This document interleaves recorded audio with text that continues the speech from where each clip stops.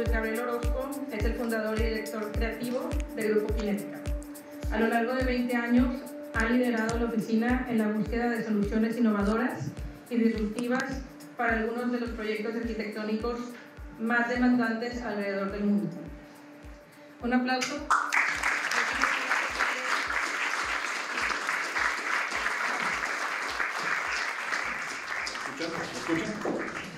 Bueno, pues muchas gracias, eh, Gabriel Orozco. Eh, muchas gracias por venir, escuchar. Y bueno, eh, me invitaron a dar esta plática, a hablar sobre, sobre cinética. Les voy a pedir que si me excedo, me paren, porque yo puedo quedar aquí hasta las 10 de la noche hablando de lo que hacemos, porque me gusta, me apasiona. Es interesante. Kinética pues, es un taller multidisciplinario de diseño industrial, de arquitectura, es un poquito híbrido saber qué es, qué es lo que hacemos, pero ¿y por qué? ¿Y ¿Cómo empezó? ¿Qué fue, ¿Qué fue lo que nos llevó a hacer esto? Surge de una, de una inquietud. Este, siempre he dicho que la innovación es hija de la inconformidad y la determinación. ¿sí?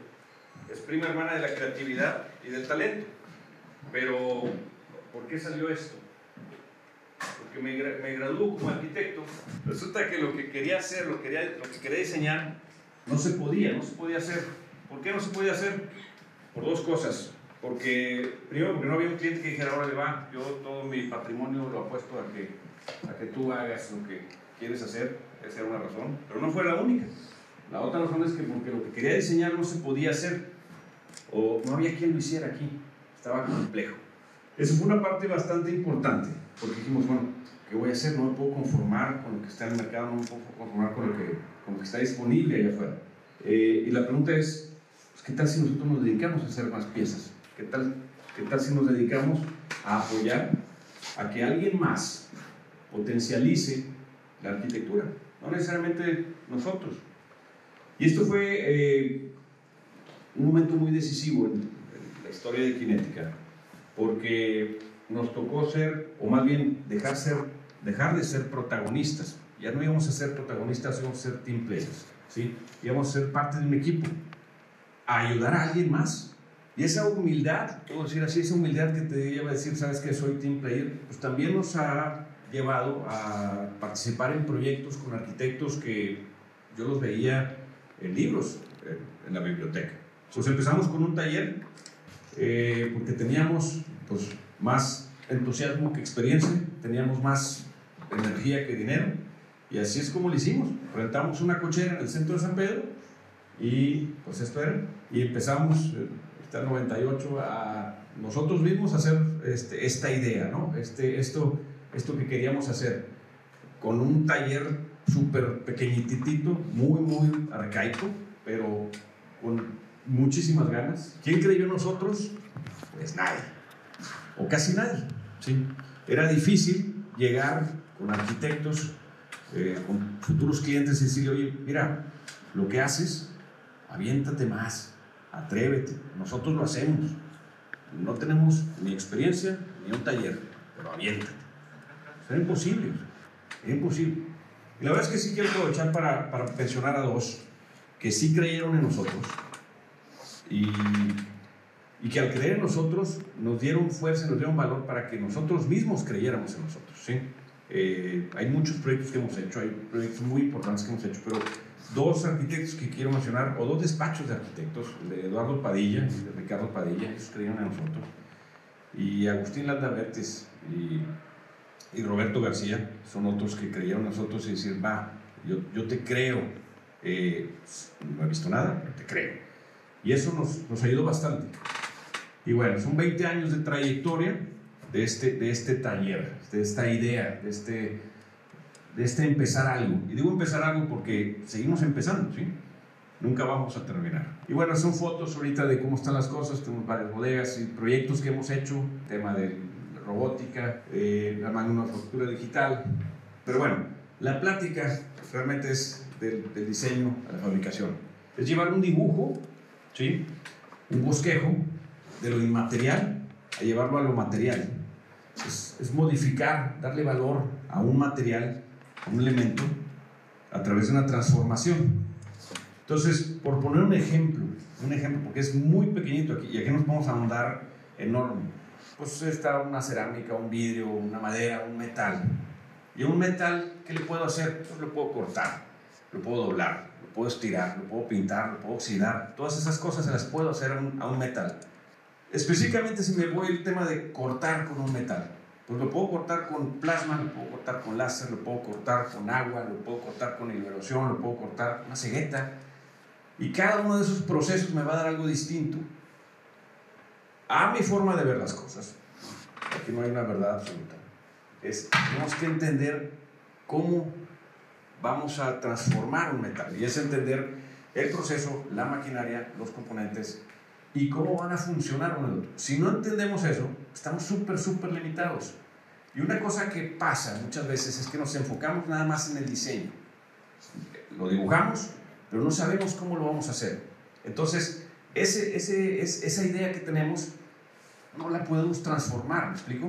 ¿Por? Porque no sabemos cómo hacerlo, o no sabemos que existe una forma de hacerlo. Es como si eres un músico y, y, eres un compositor y dices, sé, sé, cómo funcionan todos los instrumentos, ¿sí? Entonces puedes hacer una orquesta, puedes ser, puede ser música, ¿sí me explico? Lo mismo pasa al diseñar. Si no sabes cómo hacerlo, pues estás atorado.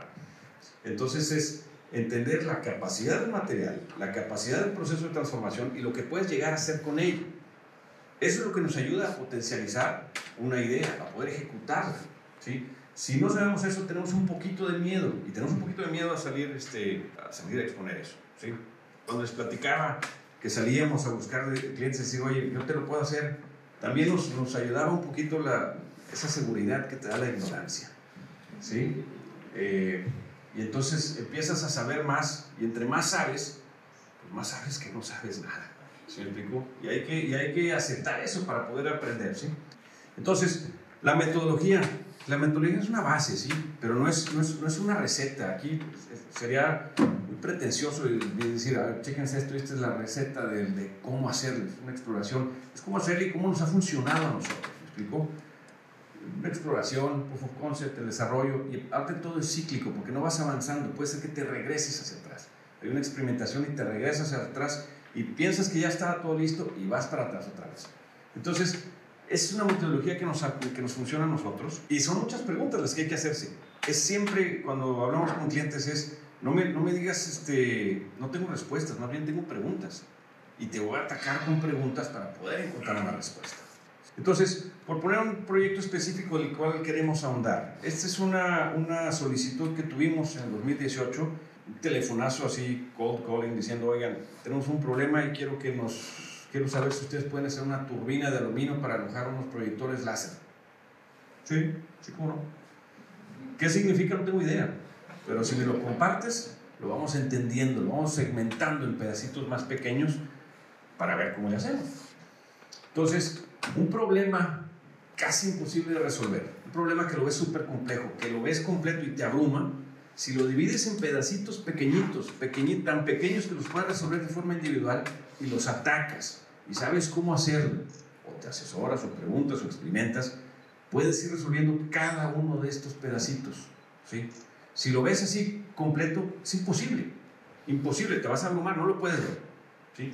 Si tienes el equipo adecuado, de recurso humano para poderlo desmenuzar, segmentar, es un proceso nada más. Eh, estamos enfocados a un pensamiento no lateral. Si tenemos la capacidad de tener un pensamiento lateral, podemos descubrir mil cosas que no sabemos o que no sabemos que podemos hacer. Tener un poquito de capacidad para eh, ver lo que no es obvio, ver lo que no está ahí. Siempre aprendes del que triunfa, pero hay mucho que aprender del que no triunfa. ¿sí? Y, tener esa, esa capacidad de decir, oye, ¿sabes qué? A ver, no todo el que triunfó me va a enseñar. Me puede enseñar mucho el que no triunfó. Entonces eso, eso nos pasa y es algo, es un ejercicio que ya lo hacemos eh, a través del tiempo. Tenemos 24 años haciendo esto eh, con los proyectos. ¿sí? Es una metodología. Explorar soluciones con múltiples materiales, procesos, es nuestro enfoque. ¿sí? Eh, y esto es lo que es, lo que es ahorita. ¿sí? Eh, hacemos todo tipo de, de, proyectos con cierto grado de dificultad. Si no tiene un grado de dificultad, decimos, oye, es que no es para nosotros este proyecto, no te puedo agregar valor o hay alguien que lo pueda hacer y lo puede hacer bien. Entonces, no es necesario que nosotros participemos. Y esto nos ha, nos ha eh, encauzado a, a, tener cierto tipo de proyectos eh, de todo tipo. Eh, ahí estamos con concreto, estamos con aluminio, eh, hacemos madera, eh, cristal, plásticos, dimensiones no convencionales. Y este es el equipo de trabajo. Este es el equipo de trabajo con el que hacemos las cosas de la oficina. Este, y lo mismo está con los, con del taller. Hay gente que tiene 18 años este, y seguimos aprendiendo juntos. ¿sí? Específicamente el proyecto de, de Dubái que, que, acabamos de hacer fue para la Expo Mundial. Eh, en Dubái nos pidieron hacer este tipo de turbinas. Eh, hay, había una empresa que ganó el, la construcción de este domo. Eh, tiene 140 metros de diámetro, 70 metros de altura y se iba a proyectar en todo este domo en la noche eh, un video mapping de 360. Hasta ahí íbamos bien, pero luego llegaron y dijeron, nosotros no podemos hacer estas estas turbinas de avión que quieres, búscate a alguien más. Entonces, empezaron a buscar y nos dijeron, oye, pues este, ustedes lo pueden hacer. Y yo, pues, primero explíqueme qué es y te decimos, ¿no? Y básicamente es esto, ¿no? Este, son estos proyectores, cada uno está dirigido a un lado distinto. Y esto es lo que nos entregaron. Esto es lo que quiero. Parece que está muy específico eso, pero son unos dibujitos, o sea, ¿no? esto no te dice nada. Eh, sí tenían una restricción de que cada uno tiene que estar volteando hacia arriba y hacia algún lado y no puedes fallar porque si te desvías 2 grados ¿sí? a 140 metros te estás desviando 7 grados y estas imágenes se tienen que entrelazar perfectamente eh, entonces no, no, o sea estamos hablando de una exigencia quirúrgica además de que estos van a ir atornillados a 8 agujeros que tenía cada muñoncito y esto estaba a miles de kilómetros de distancia, ¿no? Entonces, como empezamos es desmenuzando el problema. Cada uno de los procesos es cómo lo hacemos aquí, cómo lo hacemos acá, cómo vamos a hacer esto, cómo vamos a hacer esto. Quiero hablar de tres cosas específicamente. Eh, uno es la especificación eh, por el gobierno de Dubái era que no fuera de fibra de vidrio. Lo más fácil era hacerlo fibra. Automáticamente era hacerlo fibra. En ese momento nosotros estábamos trabajando por un edificio de en Miami, haciendo fibra. Entonces lo natural era hacerlo fibra. Intuitivamente dijimos, si la especificación es fibra y lo, digo, si la especificación es aluminio y proponemos fibra van a sacar. Vamos a proponerlo de aluminio. Con lo complicado y lo complejo que es hacerlo de aluminio, una doble curvatura